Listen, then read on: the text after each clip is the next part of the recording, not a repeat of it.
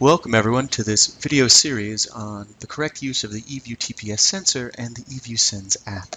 In this video, we'll be looking into the use of the eVu app as if we're a user who's trying it out for the first time. As you can already see on the desktop of my tablet, I've downloaded the eVu app, and it's listed right here, shown as a blue flower-like icon. I'm going to click on that app icon, and it's going to open up the main menu of the eVu app. Here we can see you have two options, login and practice. Practice we'll learn more about when I get to the actual training and practice stage in the next video. But today we're going to focus on logging in. The eVu Senz app is structured so that individual users have their own unique profiles with usernames and passwords to access and save data under them. If you do not know the password of someone else using the exact same tablet or smartphone, then you're unable to access their information, which means that all information is protected. If we were to go to the eVu Senz menu at the upper left and click on here, you're going to see that there's a help menu. And this help menu gives instructions on how to use every aspect of the eVu Senz app, as well as how to use the TPS sensor. So if ever you want to refer to any directions while not following this video, feel free to go to that help menu. I'm going to hit the back button on the tablet itself to return to the main menu, and now I'm going to click on the login button.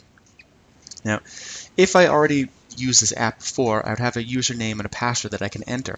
Since I'm going to pretend that this is the first time I'm using it, I'm instead going to hit the sign up button.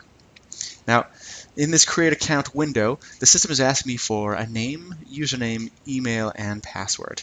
You require each of these fields to have four characters in them, so I'm going to enter that right now. So under name, I'm going to type in John Bale.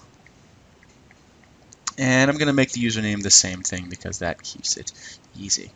Under email, I'm going to write my email for Thought Technology.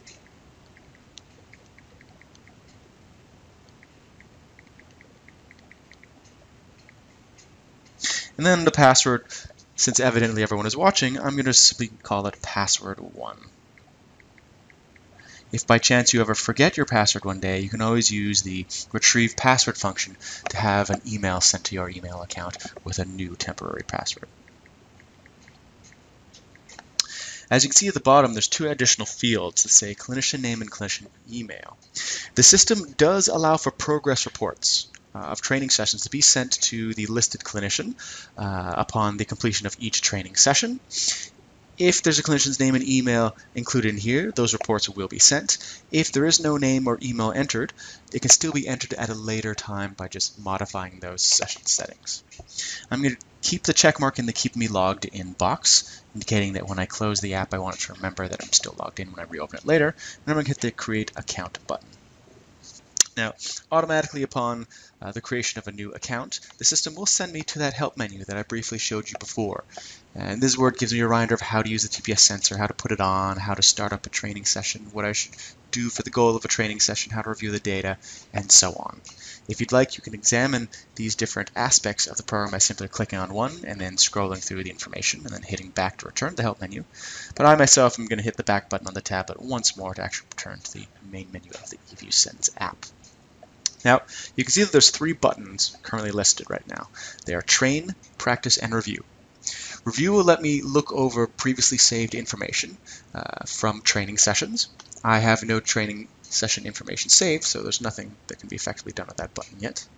For the train and practice, they essentially bring up very similar types of sessions with only minor differences um, in that the training session saves the data at the end of the session, as well as there's a few additional aspects to feedback which we'll learn about later.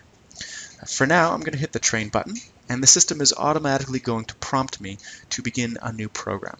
By program, we mean a series of 10 training sessions where I'm training for fixed duration of time, and ultimately across those 10 sessions, I want to achieve a program goal of a fixed number of points.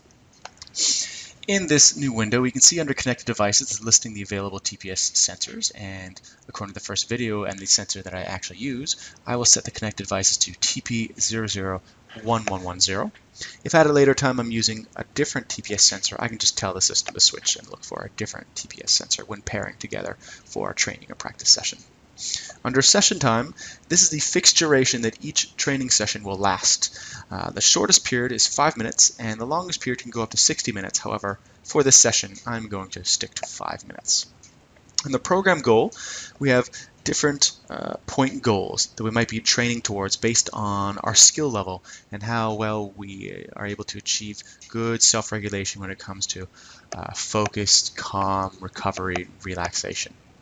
For me, I'm going to select a beginner goal of 300 points, but if I was a more advanced user, I can select anything between intermediate, advanced, and expert. So I'm ready to go. I'm going to hit the go button of the new program, and the system is going to look for my TPS sensor. There we go. And once it, is, once it is connected, it will automatically begin a training session, which is initiated with a feedback countdown. Join me in the next video where we learn about all aspects of running a training session.